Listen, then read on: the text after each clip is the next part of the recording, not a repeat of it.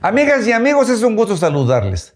Los resultados obtenidos de los últimos Juegos Centroamericanos y del Caribe, celebrados en San Salvador, de los seleccionados mexicanos, demuestran que pese a los conflictos internos, el trato déspota, grosero e insensible de la titular del deporte en México, Ana Guevara, México sigue siendo referente, el gran animador y la potencia deportiva de la región, al colocarse en el primer lugar del medallero con 353 preseas, 145 de oro, 108 de plata y 100 de bronce, arriba de Colombia y Cuba, segundo y tercer lugar respectivamente.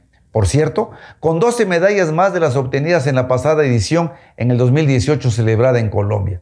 Resultados que en gran medida se deben al esfuerzo individual y familiar de muchos deportistas, por la serie de conflictos que se dan entre muchas federaciones entre sí, con otras y con la titular de la CONADE, que impide que los ya de por sí limitados recursos asignados lleguen a los atletas. Como lo vimos recientemente con las nadadoras mexicanas de nado sincronizado, que a la postre resultaron campeonas mundiales.